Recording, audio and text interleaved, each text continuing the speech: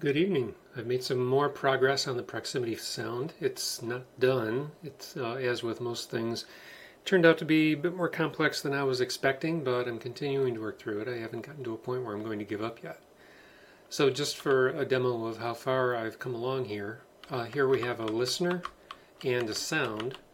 And normally in a game, uh, most games, when the sound is, no matter where the sound is, it just renders the sound directionally from the listener point wherever the sound is. Uh, so what I did was I modeled nodes, and each of these nodes have to be convex, and each of them have openings that won't block sound. Uh, the game could set them to temporarily block sound, like if you close the door. And just for some complexity, I added a small hallway here and four intersecting openings. And so what I did was I had it uh, parse the map and assemble all of the possible ways that each node could reach other nodes through the openings. So here you can see how uh, the pathways from this node can make it into this node through those three possible paths.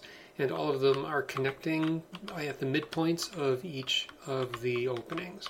If I move down here, you can see it connects there and it gets even more complex as uh, they get farther away from each other.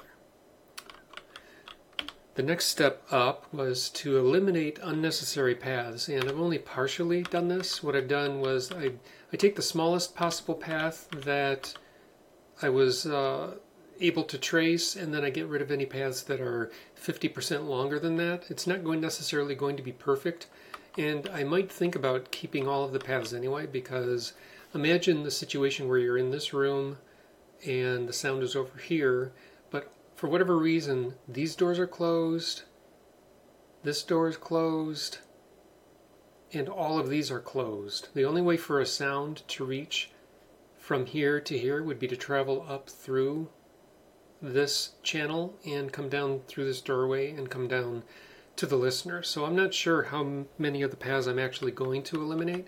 We'll see I mean, it's possible.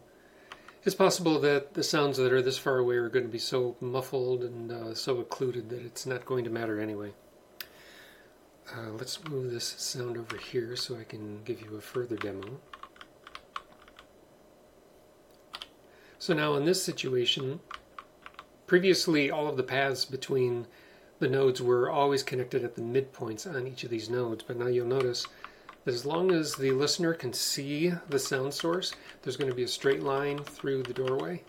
But if I move down here so that it's no long, it now has to go through a blocked door, the farther it is off from the entrance, the more the sound comes more from the middle of the doorway to suggest that the sound will be reverberating off from these walls and then finally coming through in this direction. And that's kind of nice because it makes it it doesn't it prevents sounds from popping from one direction to another. The change is gradual instead of being sudden. And if I move away there's other pathways that open up as well.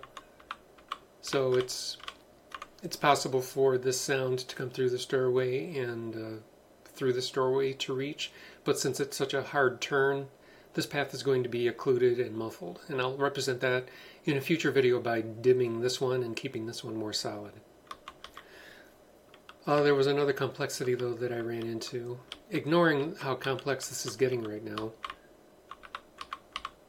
attempting to go through multiple nodes to look for a straight line path, uh, I was doing gradual adjustments, but as I make as I make one change in one part of the path and then I make another change in the later part of the path, that later change can actually affect the prior change. So I'm iterating two or three, or well, two extra times now to uh, try to make the line straighter, and this is the result of that.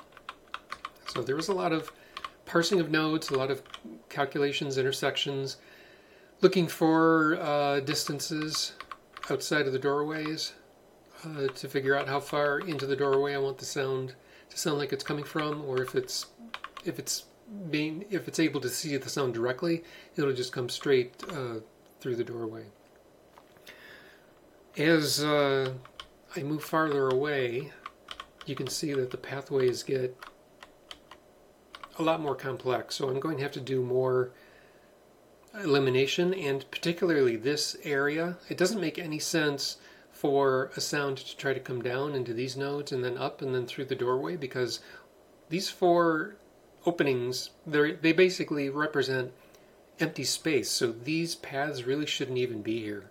So I'll have to put in more intelligence to get rid of these and again try to find the most reasonable paths and weight them and, and dim them and make them more solid just to represent how I plan on making uh, the sounds sound in the sound system. I'm going to save how I blend the sounds in the sound system for last. I just want to make sure that this part of the data, data, anal data analysis is good and solid before I move on to the uh, the actual mixing of the sounds. So, not bad progress. Uh, might be a couple weeks, maybe maybe a week. I have no idea. Um, I've been working on this over Thanksgiving weekend because I had a four-day weekend.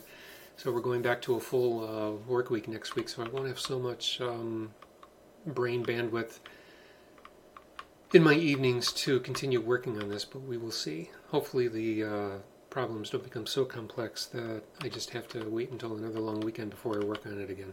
So, thank you for watching, and uh, I hope to have another update for you soon. Have a good evening.